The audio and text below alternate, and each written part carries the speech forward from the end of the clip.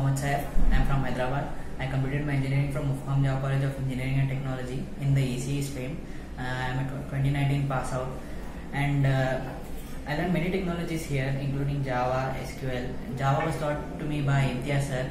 He is a brilliant trainer and uh, he you know make, makes analogy with the with the subject and uh, Shubham sir has very good uh, hold over SQL SQL and I want to thank thank the HR team and, uh, and my trainers for giving me an opportunity in the Capgemini. And uh, I was placed in this because of the efforts of the HR team and the trainers.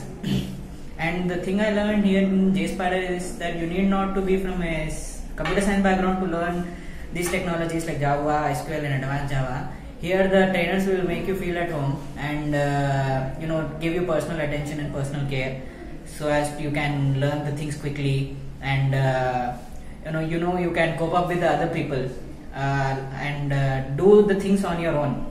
And the thing about the learning process is that the presentations are really good. They have your own group and you can present to them and you can ask doubts and you can approach any faculty at any time. And uh, yeah, this is it.